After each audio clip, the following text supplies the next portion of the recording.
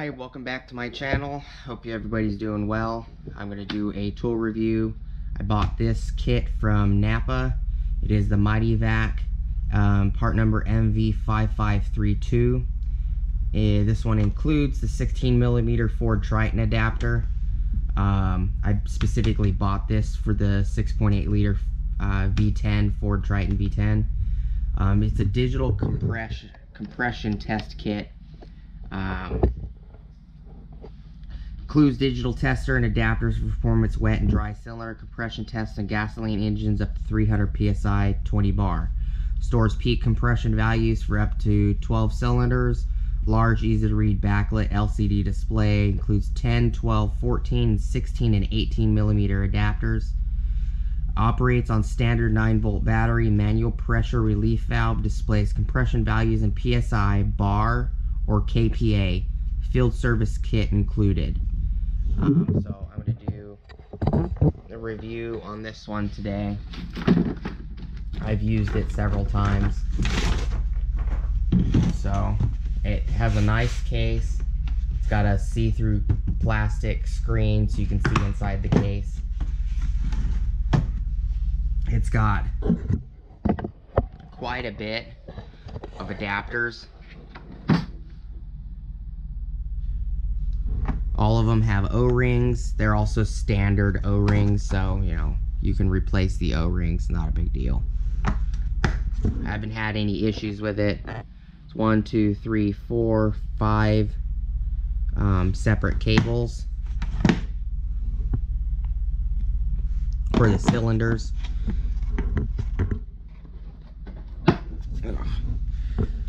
The main unit it's got a quick coupler unit on it. So you just quick couple it, kind of like an air fitting. Um, it's quite big. It does have the manual relief like it was explaining. It's right here. It's got a nice um, green backlit displays, easy to read. Might not be easy for the camera. It's reading cylinder 1 right now.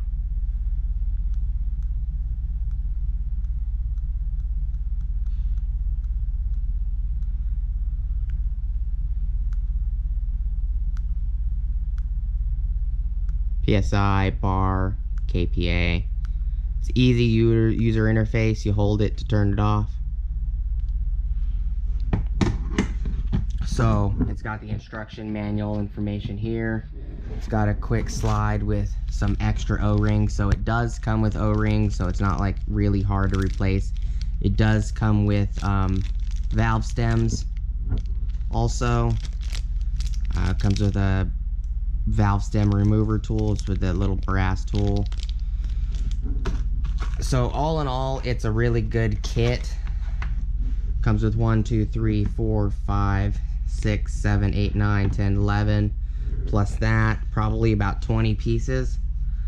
Um, and I haven't had any issues with it. It works great.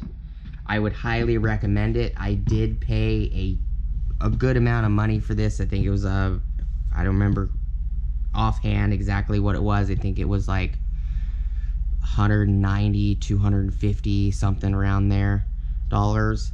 Um, it was well worth it.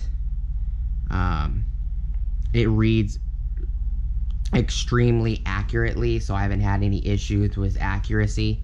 It does come in a nice case. Um, I tend to leave all my stuff in their original cases unless I'm putting, you know, sockets or something in a in a toolbox. Then I tend to throw the whatever the sockets were on at the store uh, hanging on. But for this this unit is is very nice unit. Um, I will try to get the information from Napa and put the links in the description below. Um, thanks for watching. Please like, rate, comment, and subscribe, and I'll see you on the next video.